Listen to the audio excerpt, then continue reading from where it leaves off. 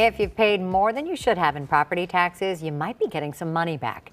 Cook County Treasurer Maria Pappas says she's sending more than $22 million in automatic refunds to more than 10,000 property owners who overpaid last year.